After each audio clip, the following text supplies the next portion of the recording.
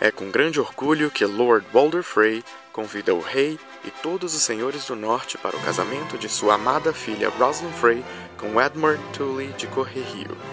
Após a cerimônia, haverá uma grande recepção. Será um banquete como nunca se viu. Você precisa passar por uma ponte que cobra pedágio. Alternativa A. Que pagar pedágio o quê? Bora derrubar tudo. Alternativa B. Você procura um caminho alternativo.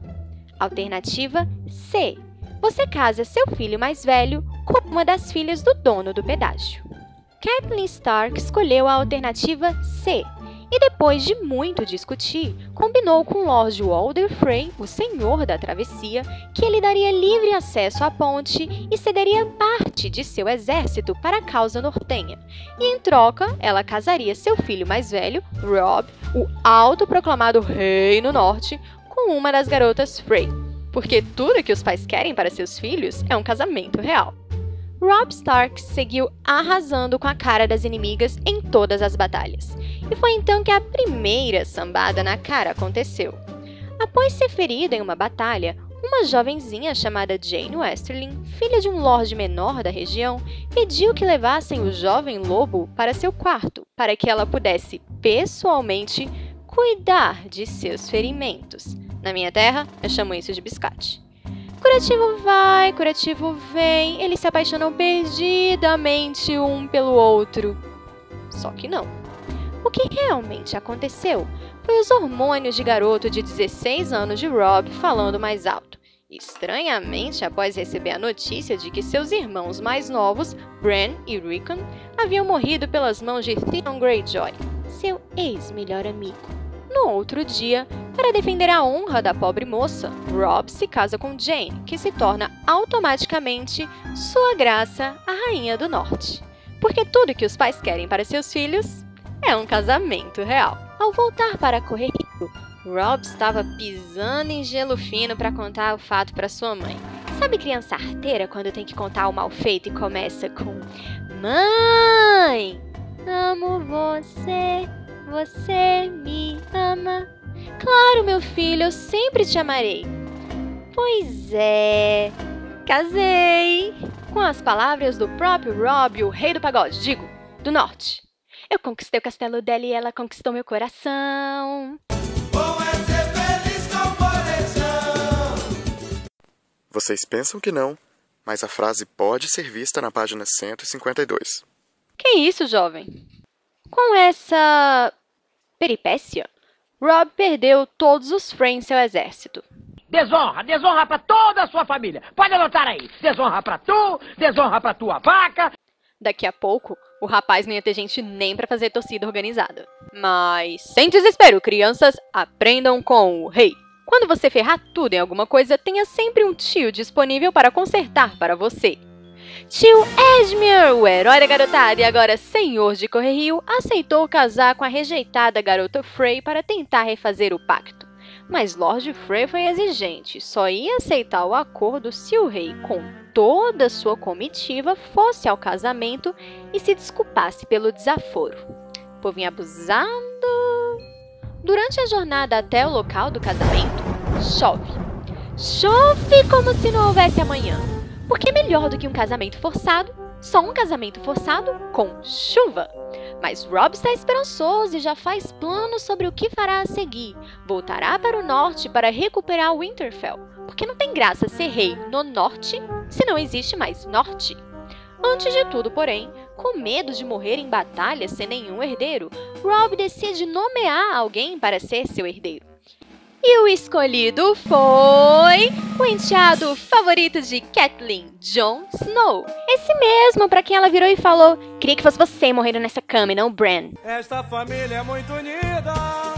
E chegou o dia do tão sonhado casamento. E a coisa já começou mal. Porque Vento Cinzento, o lobo de estimação de Rob, resolveu atacar não um, mas quatro dos filhos barra netos do anfitrião logo na entrada do castelo. Kathleen insistiu para que assim que chegassem, Rob pedisse comida para ficar protegido pelo direito de hóspede. Teimoso como é, ele virou: Dá nada não, mãe. Mas tudo bem, vou comer o que eles me derem. Sério, querido? Sem perguntar se é friboi? No grande salão, Rob teve que ouvir diversas alfinetadas da parte de Lord Frey. E no final, ele fez com que todas as suas 1347 filhas barra netas barra bisnetas, ou algo próximo a isso, se apresentassem para receber as sinceras desculpas do Reino Norte. Mas ninguém ficou mais feliz do que Tio Edmure, que descobriu que não tinha nada a temer, pois sua noiva, ao contrário da maioria das garotas Frey, era uma fofa. Ah, gente, vocês fizeram todo aquele estresse e no final o cara foi um amor. No banquete de casamento, Kathleen estava passando por maus bocados. O DJ era facilmente o pior dos sete reinos. A sopa estava aguada, a carne mal passada e o purê estava frio. Favor anotar o nome do buffet para nunca contratar? Pior festa de casamento ever. Seu filho for obrigado a dançar com todas as filhas barra netas barra bisnetas de Lord Frey para compensar a desfeita? Todo mundo parecia estar se divertindo bastante e fizeram um alvoroço quando começou a cerimônia da noite de núpcias. Alguns convidados deixaram o salão seguindo os noivos. E foi então que algo estranho aconteceu. As portas se fecharam e uma canção começou a tocar. A canção que fala sobre como os Lannisters são implacáveis contra aqueles que os desafiam. Prepara que agora é hora choras poderosas afrontam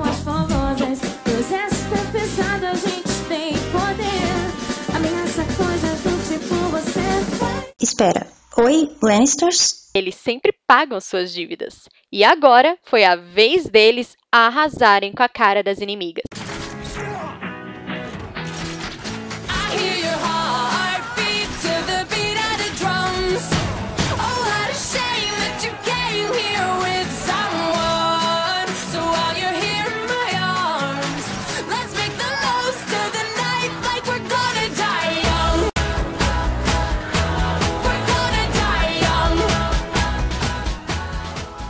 Catelyn tentou barganhar, puxou um dos Frey pelo cabelo e encostou uma faca em sua garganta. Se Frey não tá manjando dos Paranauê aqui não, se tu matar meu filho eu mato teu. Lord Frey se limitou a dizer, mas esse é meu neto, queridinha. E essa era a deixa de Rose Bolton. Sim, ele mesmo que fazia parte do Exército do Norte, até então. O adorável senhor chegou trabalhado na traição e enfiou uma espada no coração do jovem lobo. E era uma vez um rei no norte. Alguns minutos depois, e sua mãe também. Rob Stark pode ter sambado na cara de Lord Frey, mas o Senhor da Travessia mostrou que quem manda na Sapucaí é ele. Ok, vou poupá-los da parte de corte e costura com a cabeça dos outros, porque né, não sou obrigada. This is the weirdest thing I've ever heard.